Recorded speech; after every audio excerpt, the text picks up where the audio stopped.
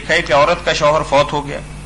عدت کے دوران اگر اس بیچاری کو کسی مجبوری کی بنا پر اپنے گھر سے نکلنا پڑے، تو کیا وہ گھر سے نکل سکتی ہے؟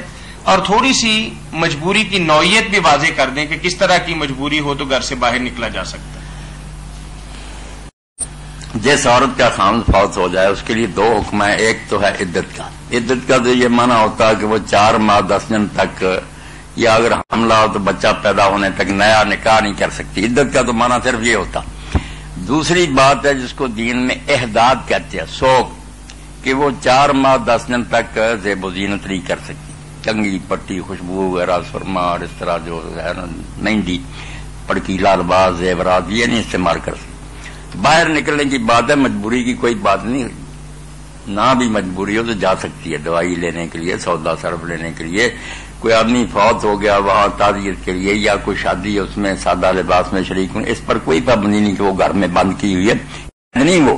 زیادہ سے زیادہ جو علماء کہتے ہیں وہ یہ کہ رات وہاں آ کر گزارے۔ مگر اس کی بھی کوئی اتنی زبردست دلیل نہیں۔ حضرت علی رضی اللہ تعالیٰ نو حضرت عائشہ رضی اللہ تعالیٰ اپنے ساتھ لوگوں کو جو ہے جن عورتوں کو یہ جن عادت حج اور عمرے پر لے جاتی تھی تو کوئی ایسی بات نہیں صرف وہ سوگ کرنا اور نکاح نہیں نیا کر سکتی اس کا خیال رکھنا چاہیے۔ باہر جانے کی کوئی بات نہیں۔ اگر کوئی ضرورت ہو تو بے شک جائے۔ کوئی بچی پڑھا رہی ہے مدرسے میں وہ جا کر اپنا جو کام ہے وہ کرے۔ اس میں کوئی بندش نہیں۔ جی۔ بارک اللہ فی یہ عموماً مسئلہ مولانا گھروں پہ درپیش ہوتا ہے تو اس میں تو کچھ لوگ بہت زیادہ علتیں نکالتے ہیں۔ بہت سختی کرتے ہیں۔ گھر میں بھی نہیں سہن میں بیٹھنے دیتے پیچھے کمرہ ہوتا ہے اس میں بند کر دیتے ہیں۔ کسی مرد کے سامنے نہیں آنا، کسی سے ملنا نہیں۔ یہ ساری اپنی طرف سے گڑی ہوئی باتیں۔ خواہ مخواہ بیچاری عورتوں کو پریشان کر رکھا۔ جو بات تھی، وہ میں نے کہہ دی کہ زیب و زینت نہ کریں۔ باقی باہر جانے پر کوئی پابندی نہیں، جانا پڑے تو جائے دوائی لینی ہے، کوئی سودا سرو لینا، کسی سے ملنا۔ یا کوئی ملازمت کر رہی ہے تو بے شک جائے، اس میں کوئی رکاوٹ نہیں۔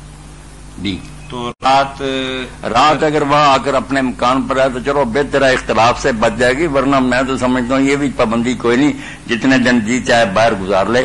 ابن حضم رحمۃ اللہ نے المحلہ میں اس پر بہت زور سے لکھا کہ ایک روایت ہے لوگ لیے پھرتے وہ اتنی مضبوط نہیں اس لیے یہ پابندی نہیں لگانی چاہیے۔ جی۔ جزاکم اللہ یعنی عام زندگی نارمل زندگی نارمل۔ بندہ زینت سے بچے بس۔ جزاکم اللہ